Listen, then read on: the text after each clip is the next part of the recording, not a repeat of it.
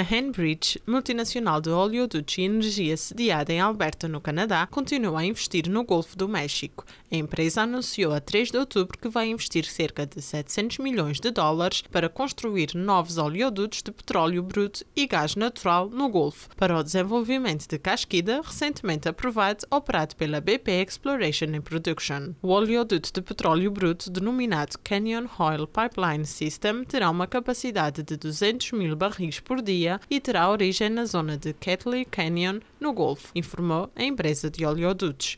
O crudo será entregue à plataforma offshore Green Canyon 19, operada pela Shell Pipeline Co. LP, para entrega final no mercado do Louisiana. O gasoduto de gás natural denominado Canyon Gathering System terá uma capacidade de 125 milhões de pés cúbicos por dia e ligar-se ao atual Magnolia Gas Gathering Pipeline da Cambridge. As atividades de concessão pormenorizada e de aquisição deverão ter início no princípio do próximo ano, prevendo que os gasodutos estejam operacionais em 2029. 2019, afirma a Henbridge. A Henbridge tem vindo a investir fortemente na costa do Golfo dos Estados Unidos da América nos últimos anos, à medida que procura construir uma posição forte para satisfazer a crescente procura global de energia. Já fornece gás natural a cinco terminais de exportação de gás natural liquefeito em funcionamento na costa do Golfo e é também proprietária do maior terminal de exportação de crudo da América do Norte, o Ingleside Energy Center, situado perto de Corpus Christi, no Texas. Por sua vez, gigante multinacional BP deu luz verde à Casquida, o seu sexto centro no Golfo do México, em julho. O projeto será constituído por uma plataforma de produção flutuante com capacidade para produzir 80 mil barris de petróleo por dia a partir de seis poços na sua primeira fase. O início da produção está previsto para 2029.